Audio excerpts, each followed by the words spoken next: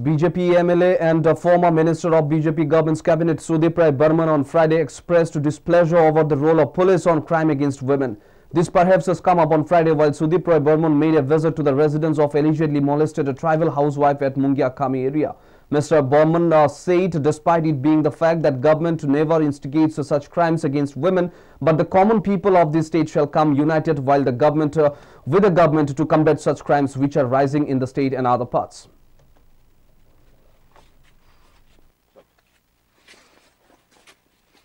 আচ্ছা এটা অগল কর বানাই দিছে কেমনে খেলবো এটা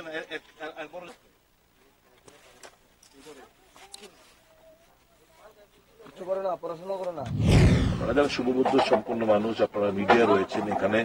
কিছু ভালো উদ্যমের যুবক রয়েছেন যারা আমাকে বেশ কয়েকদিন ধরে বলতে, দাদা, একটু আসুন, এই ঘটনাটা একটু জেনে যান, কথা বলে যান।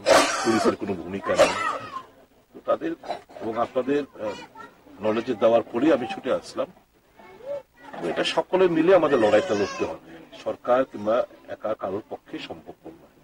জনগণকে নিয়েই এই লড়াইটা লড়তে পারবে এত গরিব, আপনি ঘর বাড়িগুলো দেখছেন।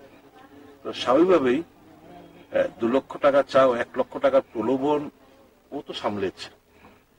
ও সামলে বলছেন আমি বিচার চাই। এরকম অনেক ঘটনা হতে পারে যে টাকার বিনিময়ে জিনিসগুলো রফাদফ হয়ে যাচ্ছে। এটা তো পুলিশের তো এটা কাজ নয়। এটা তো কোনো একটা যার যার যার উপর দিয়ে গেছে, সে উপলব্ধি করছে। তার ব্যথাটা সে বুঝতে পারছে।